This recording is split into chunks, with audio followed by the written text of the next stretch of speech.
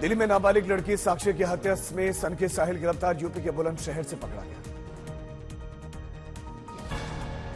नाबालिग साक्षी की हत्या का दिल्ली में सीसीटीवी फुटेज आया सामने, शुरुआती रिपोर्ट में 16 जख्मी। दिल्ली में नाबालिग साक्षी की हत्या पर पिता और माँ ने दर्द किया बयान, आरोपी साहिल के खिलाफ सख्त कार्रवाई की बात। दिल्ली के सीएम अरविंद केजरीवाल ने साक्षी हत्याकांड पर जताया दुख कहा, एलजी साहब, कानून व्यवस्था आपकी ज़िम्मेदारी, कुछ कीजिए। केजरीवाल के मंत्री सौरभ भारद्वाज का भी एलजी पर निशाना, कहा, एलजी साहब, अगर आप अपना काम नहीं कर रहे तो फिर क्या जवाबदेही है? मणिपुर हिंसा को लेकर एक्शन में सरकार गृहमंत्री अमित शाह चार दिनों के दौरे पर इम्फाल पहुँचे।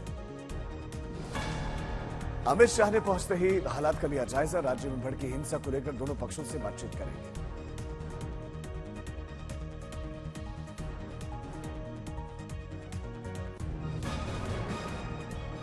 राज्य में फिर से भड़के हिंसा, ताज़ा हिंसा मामले में पाँच की मौत।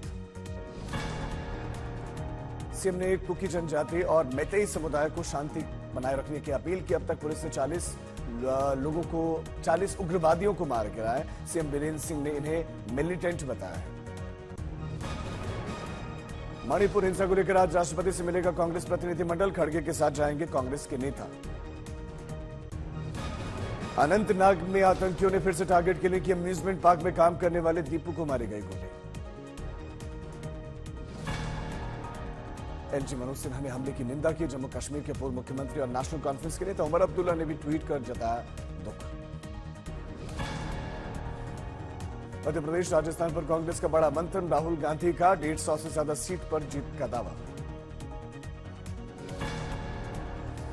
गहलोत और पायलट बैठक में हुए शामिल, दोनों ने किया तय, एक साथ लड़ेंगे चुनाव।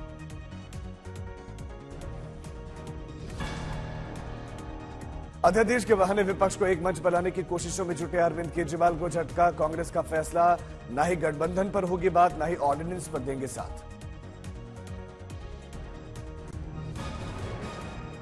अहमदाबाद में दिखा पंडित धीरेन्द्र शास्त्री का अनोखा अंदाज, मोर के साथ डांस करते दिखे। खेड़ा में प्लास्टिक फैक्ट्री में लगी भीषण आग, पाँच किलोमीटर दूर तक दिखा काला धुआँ। बिहार के नौगछिया में पुलिस ने बेरहमी से की महिला की पिटाई पिटाई का वीडियो वायरल। मैसूर में कार और बस की टक्कर, आमने सामने की टक्कर में 10 लोगों की मौत।